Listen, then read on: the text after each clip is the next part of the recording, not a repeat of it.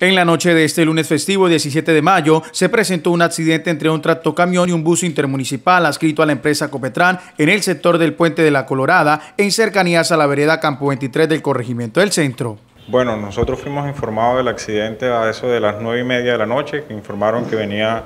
una cantidad considerable de pacientes por un trauma masivo que hubo en horas de la noche, eh, ingresando pacientes más o menos tipo 10 eh, en adelante. Tuvimos pacientes de todas las edades, varios traumas, pacientes que tienen eh, traumas muy leves como contusiones, hasta pacientes que tienen contusiones cerebrales con bastante desorientación,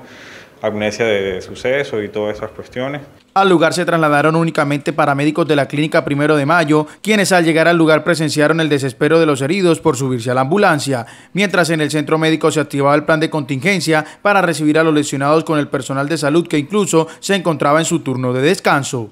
A la institución acudieron más o menos cuatro ambulancias muchos pacientes y ajá, hasta ahora tenemos eso más o menos alrededor de 14, 15 pacientes nos ingresaron en el transcurso de la noche de todas las edades,